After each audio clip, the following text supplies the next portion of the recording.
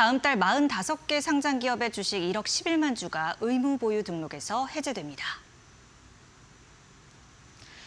한국예탁결제원은 다음 달 중 KBI 동국실업, 파도 등 상장사 의무 보유가 해제된다고 밝혔습니다. 의무 보유 등록은 일반 투자자 보호를 위해 최대 주주 등이 소유한 주식을 일정 기간 처분이 제한되도록 예탁원에 등록하는 제도입니다.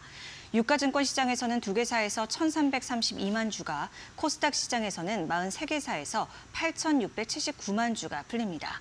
해자 주식수 상위 3개사 슈어 소프트테크, KBI 동국실업, 원백이며 발행 주식수 대비 해제 주식수 상위 3개사는 모데솔루션, 이삭엔지니어링, 쿠콘입니다.